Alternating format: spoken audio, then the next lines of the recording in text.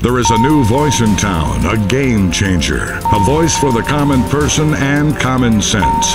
Locally owned and locally operated news talk with the stories that you want and need to hear from both sides of the fence, leaving it for you to decide. Local news and topics combined with national news and opinion. Your locally owned and operated news talk station. KCNR Free Fire Radio, AM 1460. Radio for the people, by the people.